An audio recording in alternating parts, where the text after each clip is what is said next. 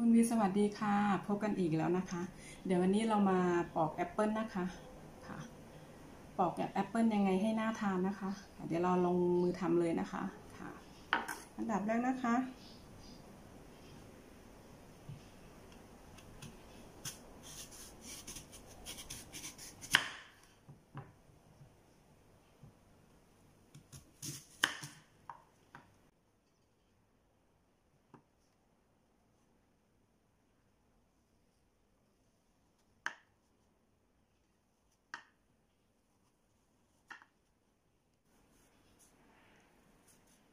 เปลือกแอปเปิลออกนะคะ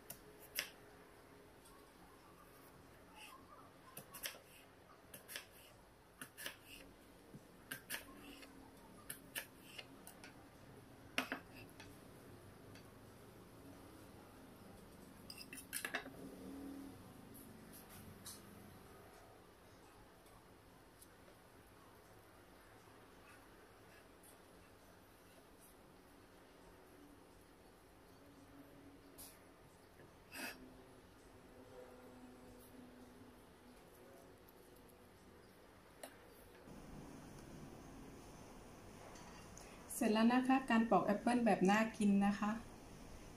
ค่ะปอกไว้ง่าย ๆนะคะ อีกอีกวิธีหนึ่งนะคะที่อยากจะแนะนำเพื่อนๆนะคะ ค่ะถ้าเพื่อนๆชอบนะคะ ช่วยกดแชร์กดไลค์และกดติดตามให้ด้วยนะคะ สวัสดีค่ะ